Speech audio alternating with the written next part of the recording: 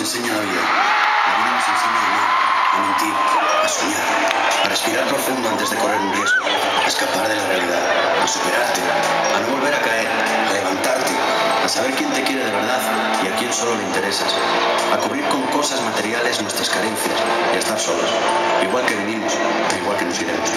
La vida es un aprendizaje constante y el que se estanca, aunque siga respirando, muere.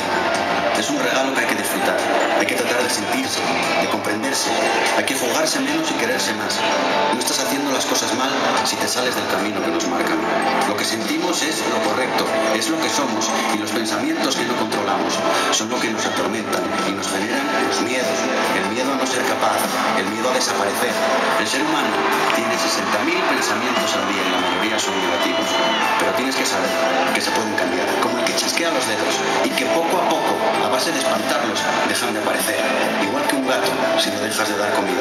Recuerda que igual que piensas, sientes y disfruta de cada momento, porque la vida es eso, momentos, momentos como este.